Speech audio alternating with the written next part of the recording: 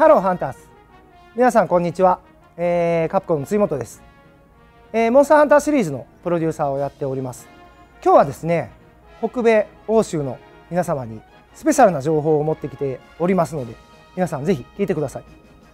えー、実はですね先日日本で任天堂 3DS 向け用のモンスターハンター 4G というタイトルを発表いたしました、えー、こちらですね現在開発中なんですが北米欧州のハンターの皆様にもいい情報を持ってきております。モンスターハンター 4G の海外版であるモンスターハンター4アルティメイト。こちらの方をですね今開発中であります。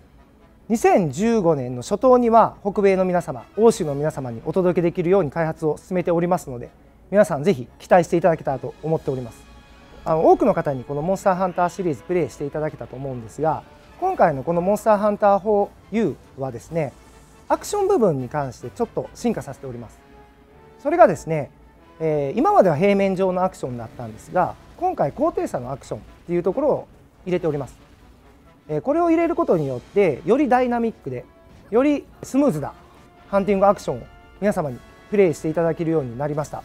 そしてですね、えー、と従来通り、えー、みんなで集まってプレイするローカルプレイこちらの方はもちろん大会あの対応しております。さらにですねインターネットを通じてのマルチプレイ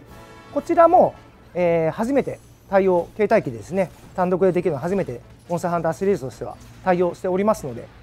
ぜひこの遠く離れたハンターの皆様とマルチプレイをこのインターネットマルチで遊んでいただき集まっていただいた時はローカルプレイでみんなで楽しんでいただけたらという環境が整いました。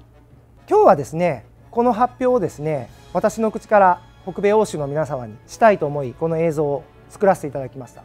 今後もちろんですねこのモンスターハンター4アルティメイトに関する情報を続々出していきます、えー、そちらの方はですね Facebook とかカプコンの、えー、ユニティこちらの方でどんどん皆様にお伝えしていきますので